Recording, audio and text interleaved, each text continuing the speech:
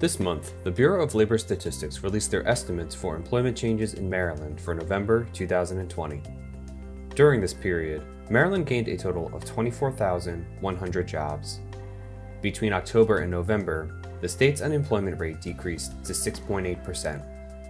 In the past month, COVID 19 has continued to spread across the United States, with nearly every state experiencing a record high in newly reported cases in the weeks following the Thanksgiving holiday.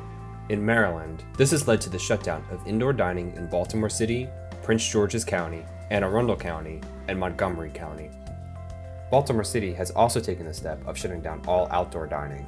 With Congress looking to settle on a reduced stimulus package, these shutdowns will not be accompanied by the same level of economic relief seen during the original lockdown in the spring. The surge also threatens many retailers that rely on the holiday season as their most profitable time of the year.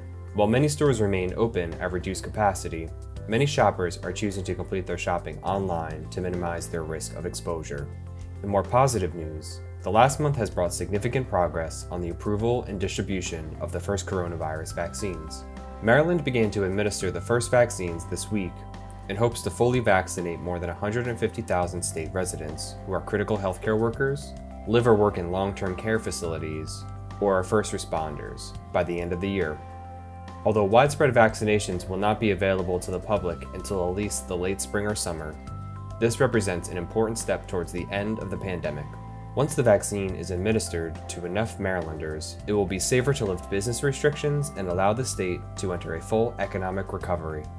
RESI will continue to keep an eye on this and other stories related to the coronavirus pandemic as they develop. Follow the link below for a deeper dive into this month's employment numbers and visit www.towson.edu/resi to learn more about our services.